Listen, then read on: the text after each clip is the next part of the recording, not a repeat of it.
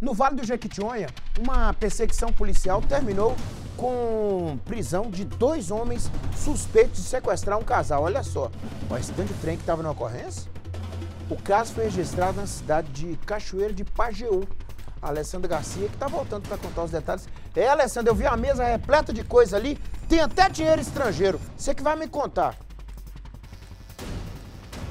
É, Nicomedes, meu amigo, é coisa. Parece até história de filme, viu, Nicomedes, o roteiro dessa ocorrência. Uma ocorrência complexa, complexa que aconteceu na cidade de, na cidade de Cachoeira de Pajeú, no Vale do Jequitinhonha. Então, o que, que teria acontecido, Nicomedes? Cerca de cinco homens, né? Cinco homens estariam envolvidos nessa ocorrência e esses homens fariam parte de uma quadrilha suspeita de sequestrar um casal nessa cidade. Esse casal, ele teria sido abordado na, na rodovia.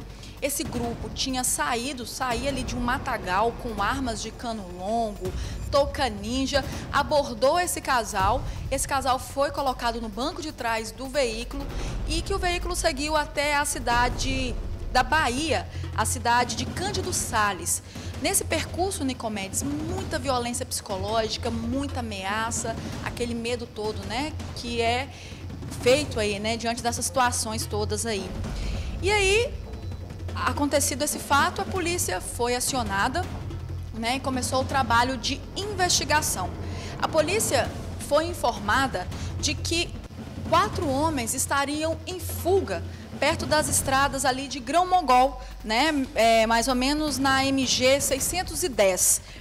O motorista do veículo em que os suspeitos estavam, na hora que viu aquela movimentação da polícia na rodovia, desviaram para uma rota ali sentido Montes Claros, Nicomedes.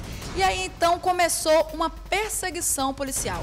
Essa perseguição durou cerca de 30 quilômetros até o distrito de Barrocão, quando a polícia finalmente conseguiu parar esses homens. Nicomedes, dois deles foram presos, um de 20 e um de 29 anos e os outros dois fugiram a pé. E olha só a audácia desses homens. Esses dois que foram presos na hora ali da prisão, eles resistiram, Nicomedes, deram, entraram em luta, em luta corporal, deram chutes, né? Ali trocaram socos com a polícia, mas, claro, a polícia tem toda a técnica e esses homens foram então presos. E esses materiais que a gente vê aí nas imagens foram recuperados com esses homens. Foram notebooks, celulares, réplicas. Essas imagens que a gente vê de armas aí são réplicas de arma de fogo, radiocomunicadores e também toucas ninjas. Essa quadrilha, é, conforme a polícia, seria uma quadrilha que agiria muito ali naquela região do Vale do Jequitinhonha. Era uma quadrilha que tinha um forte esquema criminoso, Nicomedes. Olha que situação.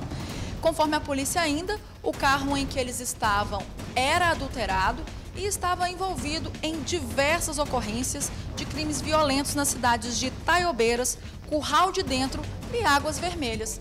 Então, mais uma, uma quadrilha, mais um esquema que foi desmontado pela polícia. As investigações ainda continuam nos arredores, a polícia continua no encalço aí desses outros homens que estão foragidos.